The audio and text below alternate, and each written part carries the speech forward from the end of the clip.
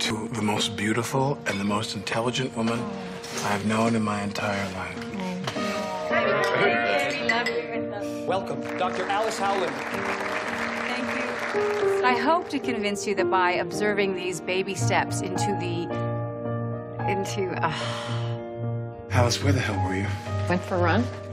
Well, I hope you enjoyed that because you completely blew our dinner plans.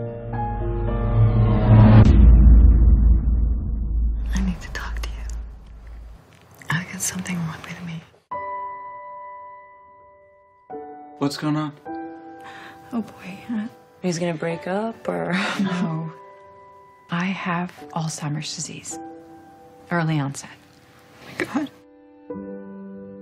I can see the words hanging in front of me and I can't reach them and I don't know who I am and, and I don't know what I'm going to lose next. Stethoscope. Millennium. Hedgehog.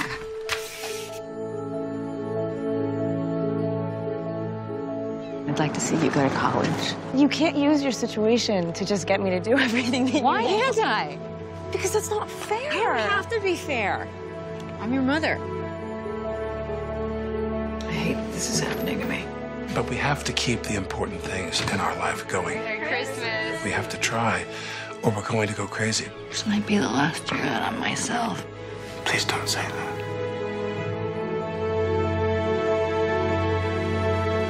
Am not suffering. I am struggling.